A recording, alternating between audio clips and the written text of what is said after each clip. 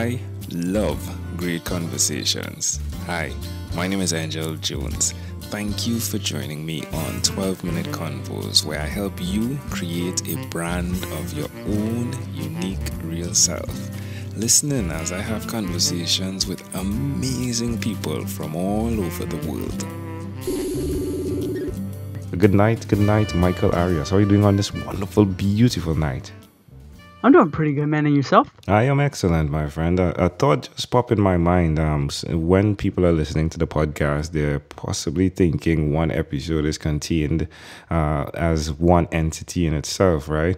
But it just uh-huh. it's really fascinating jumping from conversation to conversation and being Ooh, it's. I'd like to. I need to go listen and see how it sounds. Like if it's sounding as one, or is it sounding as though this guy is in and out of um, spaces? Because I'm in and out of spaces, right?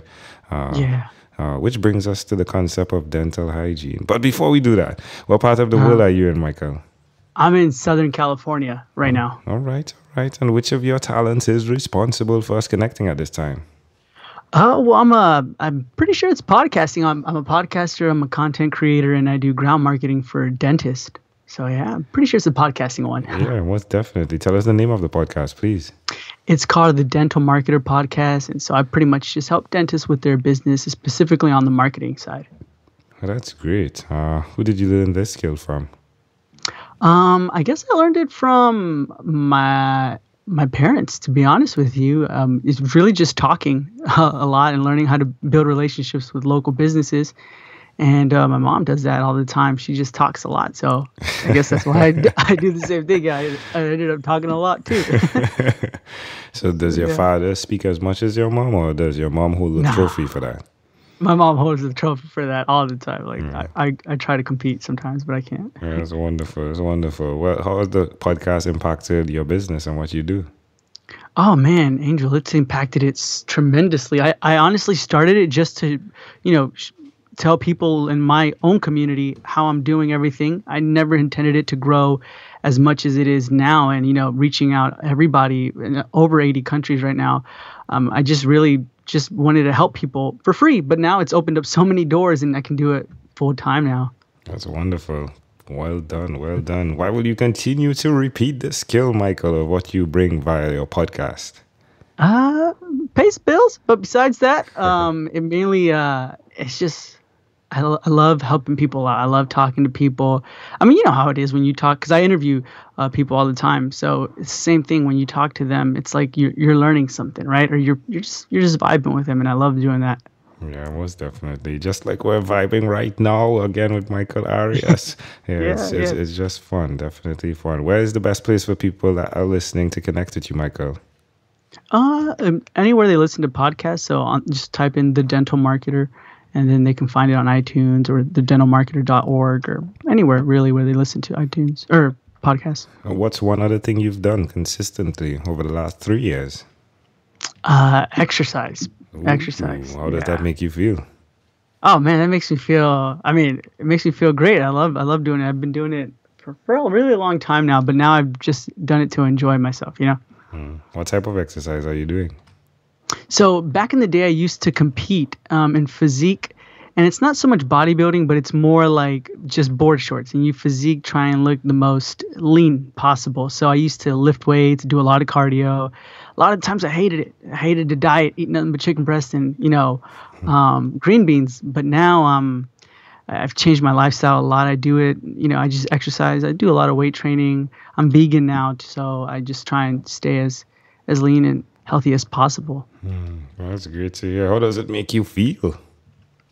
Oh man, it makes me feel so great, so great that I don't have to. I mean, like you know, you know how it is when you're exercising. I mean, you feel you wake up with more energy. You can go throughout the day with more energy. You sleep when you're supposed to sleep. Uh, it just feels great. Wonderful, wonderful.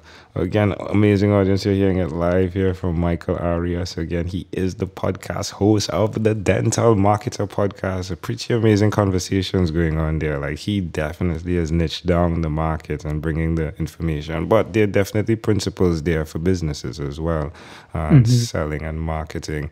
Well, Michael, let's switch gears for a moment now. Let me invite you into my time machine that is surrounded with beautiful, warm blue Caribbean water. Michael, what hmm. your earliest childhood memory? my earliest childhood memory, what I would have to say is I remember um, we were in an RV and we were living in an RV, and it was such a small, broken down RV, and it was my mom, my dad, my brother, and me. We lived in a, a like a couch bed, right? And I just remember coloring on a coloring book, and the light hitting the coloring book, and you know, just me thinking there's nothing wrong in this world right now. Like this is the best thing that can ever happen. That's probably my earliest childhood memory. How old were you? Oh man, I had to say I was probably six or seven. Six or seven. How do you see this memory connecting to who you are today? Um, I think I see it as oh, that's a good question. I think I see that because I kind of feel like at that moment, you know, although like you know you're a kid, you don't know that you're homeless, you don't know that you're just living in an RV, you know, doing nothing. I, and to me, I felt like I had everything. So even when I feel sometimes that I have nothing, I always think like I have more than some people like never have, you know. So I should always appreciate like where I'm at in life. Hmm, that's amazing. Yeah. All right. All right. If we fast forwarded to when you were 12, what was your favorite song? Oh, 12, I was probably skateboarding around at that time. So my favorite song, probably that I, I think it's called "Fly" by Sugar Ray. Like I just wanna fly, dude. That's go. it. Yeah. There we go. Yeah. Okay, but you're yeah. singing as well. Ooh, you're in the groove.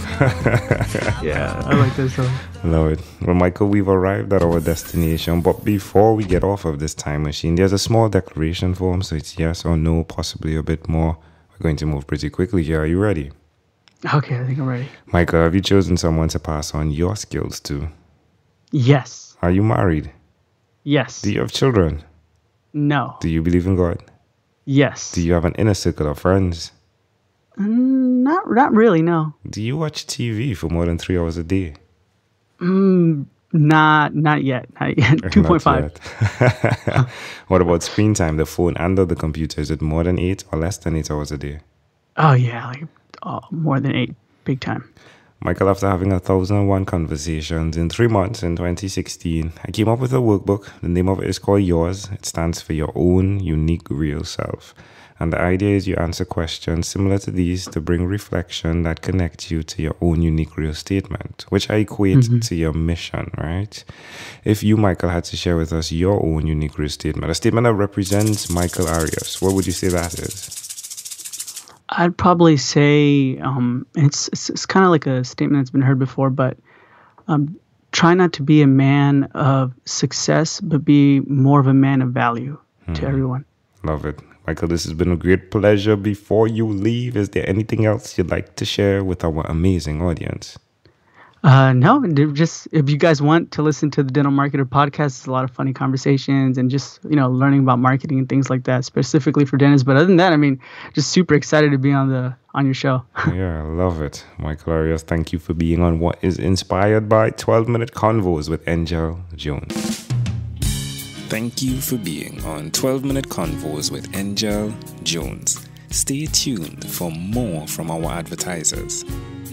Diabetes is a mountain pandemic. It's a disease that's not acute but chronic.